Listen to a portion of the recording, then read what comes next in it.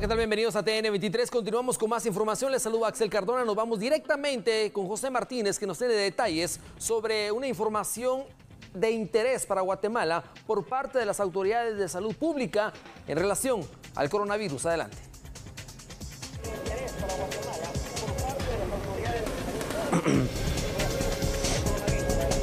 Muy buenas tardes, Axel Cardona. Hace algunos minutos terminó la conferencia de prensa en la cual las autoridades del Ministerio de Salud dieron a conocer el análisis situacional del coronavirus para el caso de Guatemala, dando a conocer que no hay ningún caso detectado eh, en el país para que la población no se alarme. Esto derivado de que ayer por la noche se dio a conocer la confirmación por parte de las autoridades mexicanas que en la Ciudad de México se ha detectado el primer caso, pero esto dio paso a un sinnúmero de publicaciones, sobre todo en redes sociales, en donde donde se alerta que podría venir el virus a Guatemala. Las autoridades se refieren en eh, relación a este tema, si han confirmado que 15 personas han sido evaluadas por... Eh, sospechas porque han venido de países en los que se tiene detección del virus, pero que al momento no hay ningún caso confirmado. Vamos a escuchar las eh, declaraciones de Eric Muñoz, viceministro de Salud. Veamos.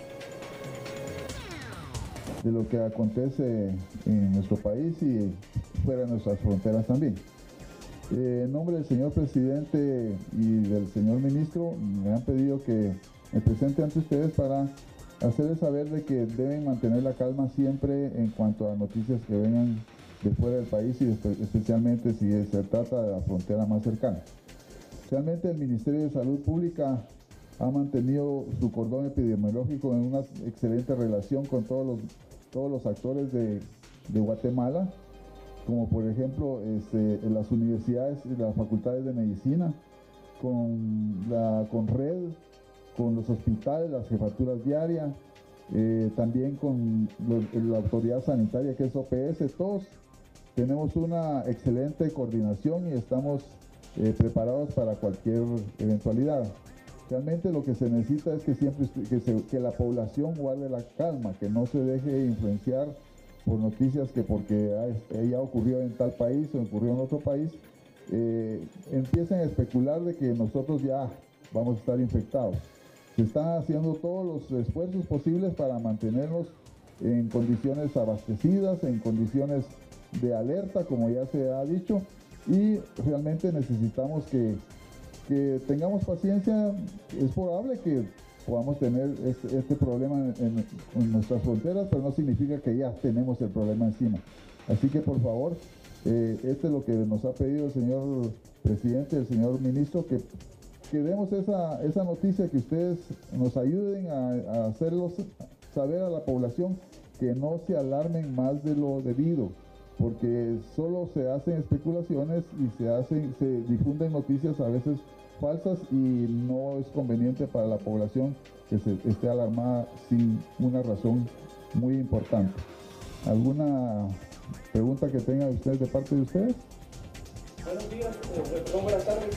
Eh, yo quisiera saber básicamente si han hecho algunas evaluaciones a nivel de farmacia.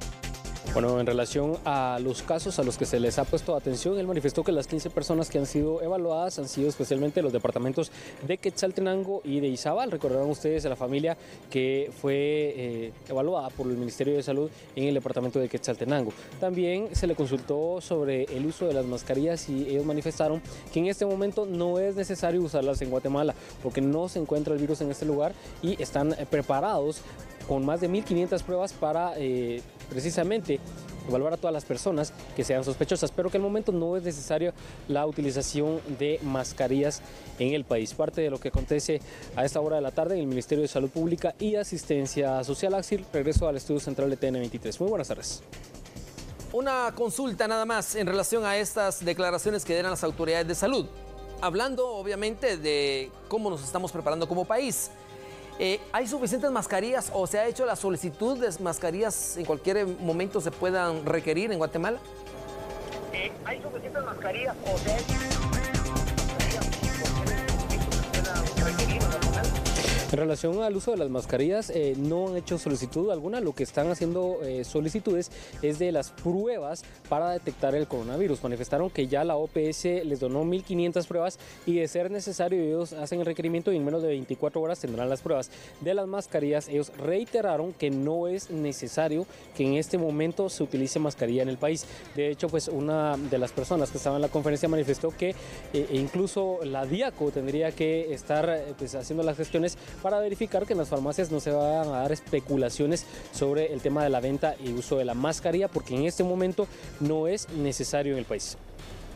Muy bien, José Martínez, muchísimas gracias por esa información. Ya lo escuchó usted, 15 pues, eh, eh, posibles casos de los cuales ya las autoridades pues, han confirmado que no es coronavirus. Existen algunas representaciones de algunas afecciones respiratorias similares, pero no lo son. Hay que recordar que existen ciertos síntomas que son catalogados como posible coronavirus, pero estos no, son resfriados y son síntomas de afecciones respiratorias comunes. Usted tranquilo, aún no llega el coronavirus a Guatemala.